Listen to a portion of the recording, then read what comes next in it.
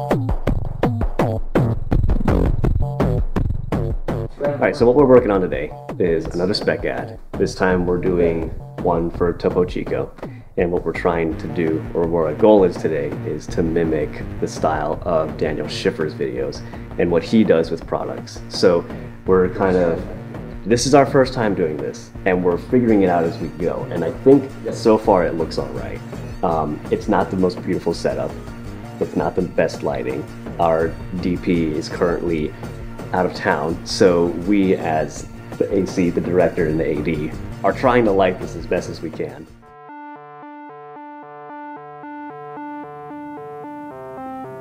Ooh, that's pretty good.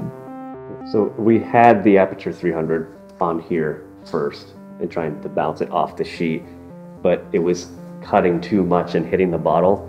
So we brought it lower and closer that way. We're getting a nice bounce to fill in the shot, but we're not getting any harsh light or reflections on the bottle. We got a 200X with a spotlight attachment to really like give the bottle a good backlight and light up the logo from behind.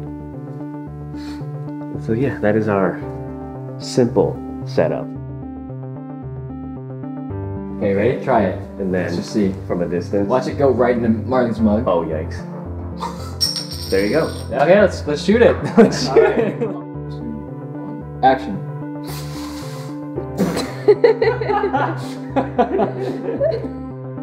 it's at five six, so we have Is do a it? little bit of breathing. Go ahead. This is it. This is the take. We're flipping the bottle cap into frame to try to, you know, get it to show the logo right as it enters the center of the frame. Nothing crazy, but very meticulous and annoying. Just keep doing it, honestly, until we get it. The shot we're trying to get right now is more of the detailed shots of the ingredients. Lime is the only ingredient, and we're just getting a close up of the limes being dropped into the water. You've seen this before, I'm sure. We just got the shots of the lime going in, but now we're gonna try adding the Alka-Seltzer to make it look like it's um, carbonation, and then we're gonna drop the limes in there as well. Oh. Ooh, that's that's a product shot right there. There we go.